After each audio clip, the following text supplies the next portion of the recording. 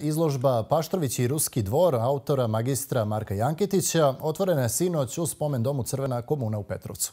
Izložba koju je otvorio predsjednik opštine Budva Marko Carević pripada bogatom kulturnom programu manifestacije Ljubišini dani i bit će otvorena do početka aprila. Dokumentarna izložba Paštrović i Ruski dvor predstavlja svojevrsno svjedočanstvo o intenzivnim i bliskim kulturnim vezama između Paštrovića i Ruskog dvora, koje su započele u prvoj polovini 18. vijeka i trajale do revolucije u Rusiji 1917. godine.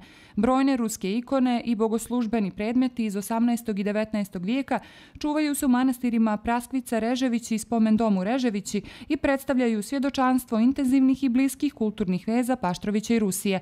Izložbu je otvorio predsjednik opštine Budva Marko Carević, koji je kazao da je ova izložba od izuzetnog značaja za kulturnu baštinu Budve i Paštrovića. Priča o vezi Paštrovića i Rusije je mnogo, a te priče svjedoče ne samo o istorijskoj povezanosti, nego i o tome da se radi o prostorima i ljudima koje je vjekovima povezivala pravoslavna vjera, kultura i duhovnost. Ova izložba večeras prilog je toj vezi između Rusije i Paštrovića. Prisutne je pozdravio i ambasador Ruske federacije u Crnoj Gori Vladislav Maslenikov.